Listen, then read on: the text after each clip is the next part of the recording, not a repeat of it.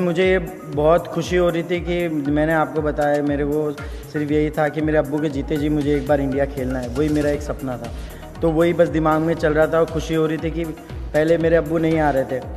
उसके बाद फिर कुछ लोगों ने उनको बोला कि आप जाओ, मैच ये सबसे प्राउड मोमेंट होता है।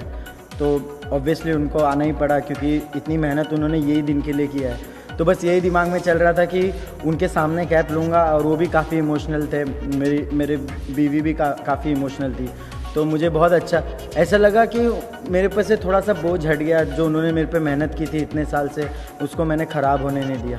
अब नहीं मैं ऑलमोस्ट देखा जाए तो चार घंटे से पैडअप करके बैठा था।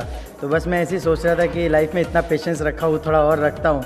फिर उसके बाद अंदर गया, थोड़ा सा इनिशियली एक दो बॉल थोड़ा सा नर्वस था, क्योंकि फ़र्स्ट टाइम आया था, लेकिन इतनी अच्छी प्रैक्टिस और इतनी मेहनत है कि सब ठीक हुआ।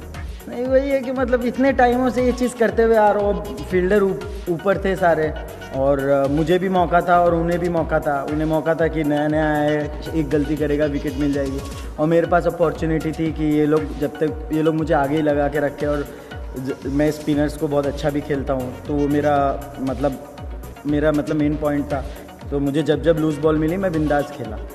एक ही सिंगल प्लान रख के।